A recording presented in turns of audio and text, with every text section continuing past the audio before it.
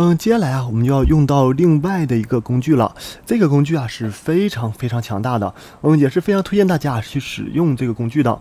嗯，谢谢大家来看一下这个工具啊。嗯，我们先来把，我先来看一下，这个是 missing 这个。在 GitHub 上没有一些例子，我们就拿我们的例子来说吧。这个工具啊，就是说现在啊，你是不是把这个数据啊，就是经过完很多处理了，然后咱们有这么一批数据，但是呢，这个数据当中啊，内部我想不想得到一些数据内部之间的一个指标呢？或者说，我想得到这个数据一个概括以及数据之间的一些特征之间的一些关系，我也我想得到一些就是很多具体的指标，但是这些具体指标啊，我自己去写比较麻烦，我能不能让这个 Pandas 啊直接帮我进行这样一个？分析呢，这个也是可以的。然后咱们一会儿再说这个库怎么去安。咱们先是把这个东西拿过来啊，就是嗯，咱们现在有一个工具啊，叫做一个 Pandas 的一个 Profiling。这个 Profiling 啊，它就是说相当于是可以帮于帮我们把这个数据啊做一些嗯统计。咱们先来从结果来看啊，这里啊就是有这样一个函数，我们进行一个 report，进行一个 report。咱们先看结果，它都给我 report 出来什么东西了，然后一会儿再说这个东西怎么去安。首先啊，report 里边第一点，它有一个 overview 吧，下面都是我打印的结果，看这是 in，这是 out 吧，下面都是打印的结果，它打印一堆结果，我们来看啊。首先啊，它会告诉你，哎呀，你的一个就是我把这个 players 这个 data frame 传进去了吗？那相当于我们传进来的是一个 data set 吧，一个数据集吧。那对于这个数据集啊，它有个 overview，overview 里边呢，它会告诉你当前的这个 data set 它的一些信息。比如说一开始，哎呀，我这个 data frame 来了之后，我什么都不知道啊。这种情况下，我最好的办法直接传进去看一个 report，非常就是这个东西啊，指标所有指标非常显而易见了。我们来看。第一个 info 里边，它会告诉你，哎呀，number of variables 就是所一共有多少个指标呢？一共是有十二指标吧。然后呢，一共啊是有多少个可观测的值呢？咱们刚才是去掉了确实值吧，所以说啊，对于 players 正常是有两千多个，咱们刚才不是去掉了四百多个确实值嘛？所以说现在数据的一个个数，咱们的就是观测的一个条数是有一千八百五十八个。所有出现的一个缺失的一个数量是百分之一点九的啊，它是有一个缺失值的。然后呢，total 的一个 size in memory 啊，在 memory 当中它的一个 size 是多大啊？下面也是一个 memory size。然后呢，对于我的一个所有变量当中，它会告诉我当前我的一个数据啊，它的一个变量的一个类型，比如说数值型的有三个啊，category 相当于是属性值吧，属性值是有五个，时间类型的 test 类型的是有两个，时间类型的是有一个。嗯，reject reject 什么意思啊？reject 的意思啊，就是说啊，它是不推不推荐咱们去使用的。我们可以看一下啊，下面就 reject reject 这个东西了。这里呢，它有一个 warning 吧，warning 什么？就是说，哎呀，当前这个数据有哪些问题吧？第一个问题啊，就是说呀，对于我们这个 birthday，对于我 birthday 这个里边来说啊，这个属性来说啊，咱们现在是有一千三百八十九个。是有啊，这样一千三百八十九个值啊，它都是不重复的，唯一的这样一个值。所以说呢，对于这列啊，它就它就是提醒了我们一下，哎呀，这个列出没出现一些问题啊？照照正常来说呀，就是属性值啊，应该都是有都是有一些类似的嘛。但是这里啊，大部分都是一些唯一值，它给我们提醒了一下。其实啊，这个无关紧要，因为生日啊，它大部分情况下都是不会重合的。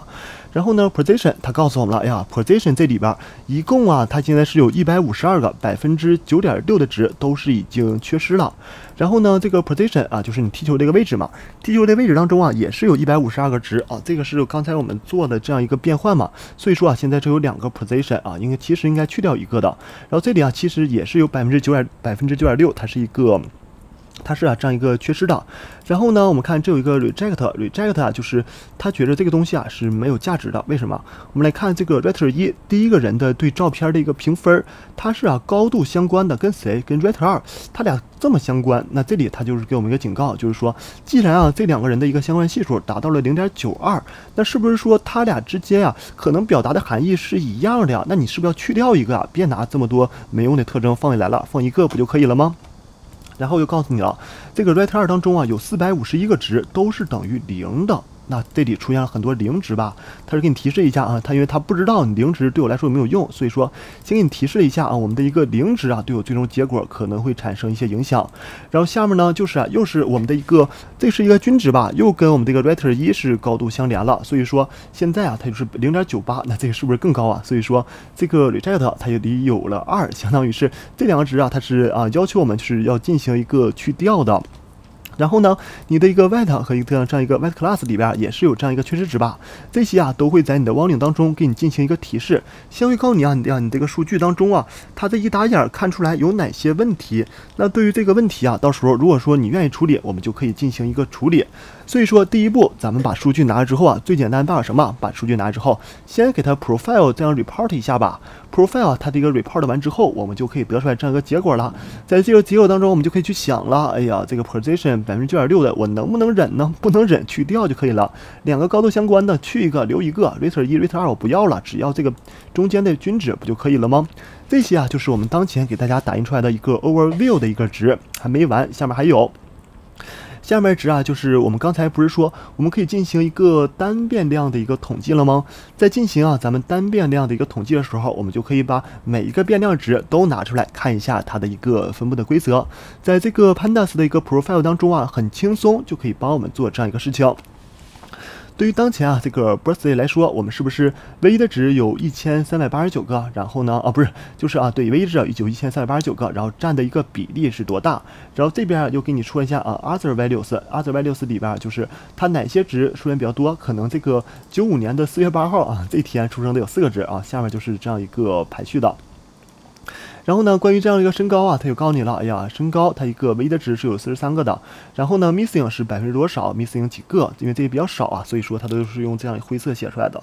然后它平均的一个均值，均值是嗯一米八二，然后最小值一米六一，最大值是二啊两米零二，可能是一个两米零二。我想想，在足球当中哪块的位置是一个高个啊？是不是应该是前嗯前锋啊？是不是个越高腿越长跑越快啊？然后这是后面是这样一个分布的规则图。然后 head class 是我们自己做的吧？这里啊，我们是有六个，呃，是有六个值。然后因为六个值当中啊，我们是有几个属性的，还有一个缺失值吧，我记着好像是。然后呢，missing 是百分之零点二，然后唯一的值啊是有百分之零点四的。然后这里呢，我们是不是又统计了一下咱们的嗯不同的一个类别分别是有多少值啊？这些都是一样的。下面呢也是一样的，咱们的一个 photo ID。然后因为这里边都是一些唯一的值，所以说嗯前三个值给我们看了前三个值长什么样，后三个值是长什么样。这里边因为都是一样的，所以说也看前三后三。Position 里边，我们看颜色变了吧，这边变成红色了吧，就是说它告诉你警告了，哎呀，这块缺失值太多了，是不是你要做一些预处理了？缺失值你是不是要做一个过滤的工作？这里也是一个警告吧，红色的一个值。然后呢，下面这个值我们来看 writer 一，writer 一是什么？告诉我们了吧？就是说这个 writer 一啊，跟我 writer 二就是，嗯，它高度相连了，高度相连达到零点九二，那它是不是提醒你了？这个东西应该被，应该被刨除掉了，因为在你一个特征当中啊，如果说你加入了两个特征，它都是高度相关的，那可以说这两个留一个就行了，留两个相当于是。留两个其实也没有，相当于是你把这个权重又给增强了吧？那本身你不应该加入这样一个你自身的一个感情色彩，所以说咱们最好啊是直接把它进行一个忽略的。在这里是不是他也提醒你了？这个东西应该进行一个忽略的吧？Ret 二，Ret 二提醒你了，这块 zeros 百分之二十八点五啊，他就告诉你，哎呀，这里边零值这么多，是不是一个稀疏的？要不要做一些处理啊？然后均值、最大值、最小值啊，都是给你展示出来了。然后这块呢，我们来看，它也是一个就是高度相关的吧。然后他告诉你了，这个东西也应该会被去掉的。它有你的一个体重，这是一个分布的规则，weight class 啊，这些都是它会啊，先是帮你进行一个 overview，overview 完之后呢，再给你 report，就是每一个变量，咱们不是有十二个变量吗？每一个变量都给你打出来了吧？这样啊，咱们再看起来是不是轻松多了？就是每一个指标啊，就是哎呀，球员的信息我现在一目了然了，它的一个规则是大概什么样，它的一个分布情况，这里呢，我们不都是可以把它拿出来了吗？然后下面啊就是一个 simple 啊，simple 就是说把你打印，相当于是咱们的 data frame 当中啊点 hide 一下，点 hide 里边啊我们可以打印这样一个前五条数据啊，它告诉你一下你这个数据啊是长什么样子的，它这里呢又给你显示了一下子。然后啊这个就现在就是已经这个 profile 完了啊，它主要是包含了这样三部分。然后呢这个啊是它的一个 GitHub，GitHub 里啊它有这样一个 example 啊，这个 example 我现在看一下我能不能打开啊。这里 reload 它会很慢的一些，然后呢，咱们先说一下它安装吧。安装也很简单哦，直接啊把这个名给它复制过来，然后咱们在这里啊进行一个 pip install，然后把我们的这个 pandas 的一个 profile 打进来，这样呢它就完成一个安装。安装很简单，我刚才安装的时候啊没有出现任何问题的。然后在它的这个，这是它的一个呃，这我看一下。这个就是它的一个 GitHub 上的一个地址嘛，然后它的一个 star 啊，star 四百八十八个，也不算特别多。然后这有一个 example 啊，它就告诉你了，它这个东西该怎么样去用。然后大家如果说感兴趣的话，再看一下它的这个 example，example 里啊，它也列了这样一个例子，然后就是跟我们刚才给大家显示出来的例子啊，其实是一致的。A 嗯，GitHub 当中有例子啊，感兴趣可以去看一下。这就是啊，我们的一个 profile 这个库啊，该去怎么样进行使用。其实啊，就是关于这些库的使用啊，大家就是也没有强制要求啊，大家去写这个东西。